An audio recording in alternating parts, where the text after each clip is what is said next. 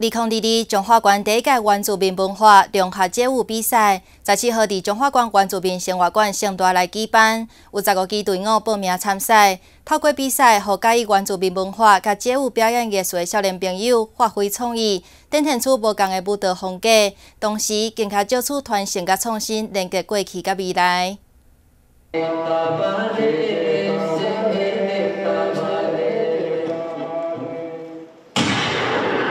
因拢是原住民的学生，透过舞蹈将原住民文化融入舞蹈当中。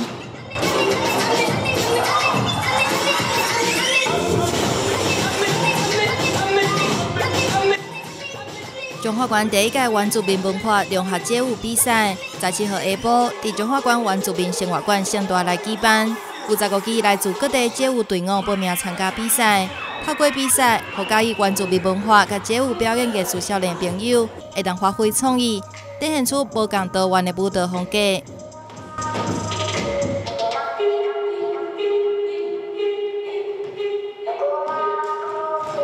参加原住民舞蹈社，然后我们又是在部落生活的，所以我们都知道一些舞步，然后就把它加到街舞里面。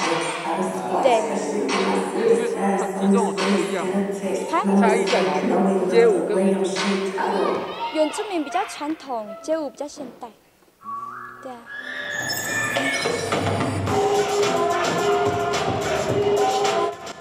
主办单位中华关体育会街舞运动委员会理事长黄千燕议员表示，原住民文化是台湾上元素生命客源主体文化之一，值得大家去熟悉了解。而且街舞是今麦少年人上接接受的舞蹈艺术，所以特别举办这边的原住民文化融合街舞比赛。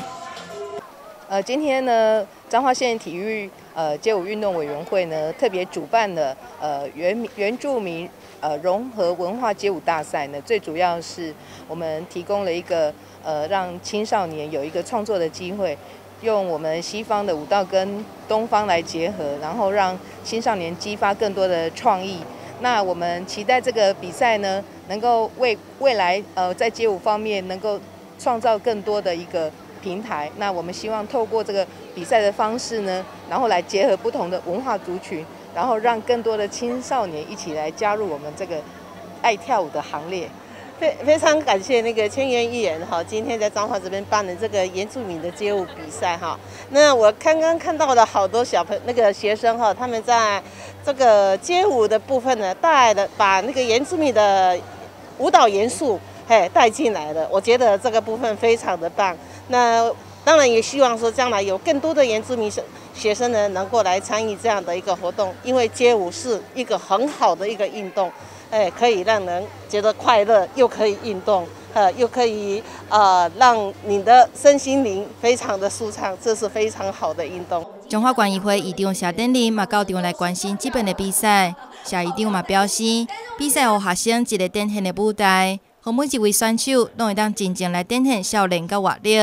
未来当创作出更加文化艺术。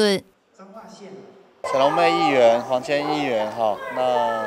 联合来主办这个原住民融合街舞大赛哈，那副县长也到现场来关心哈，那